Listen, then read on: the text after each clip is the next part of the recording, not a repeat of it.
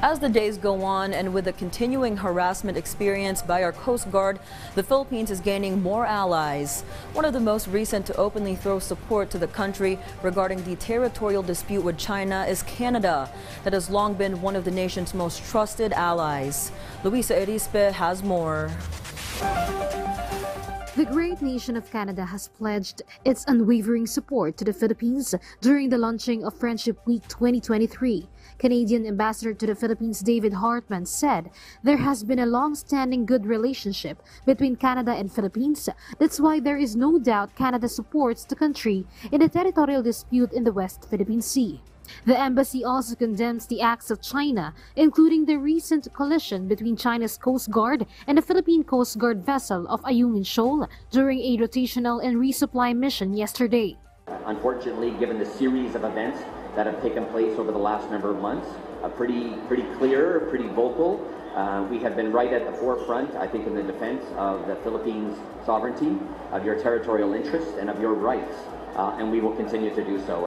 On the plans of the Philippines to file a case against China with the Arbitral Tribunal for Environmental Damages, Canada believes the Philippines deserves to have jurisdiction on its territorial waters, as provided or cited in the United Nations Convention on the Law of the Sea or UNCLOS.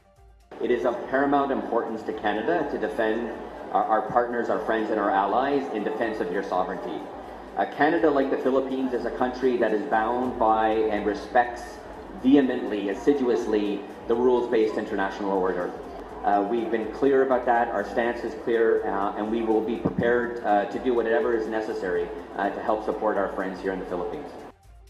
Previously, Canada signed an agreement with the Philippines giving us the opportunity to use the dark vessel detection system. This will allow the Coast Guard to monitor vessels without its automatic identification system, which is what China has been doing within our territorial waters to avoid detection by the Philippine Coast Guard. Meanwhile, Canada's support doesn't end with the West Philippine Sea.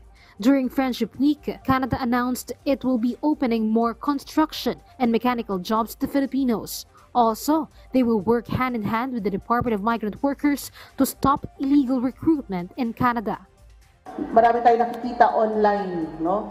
Na mga recruitment activities, mga kam- ah, kampanya tungkol sa pagpunta sa Canada, no?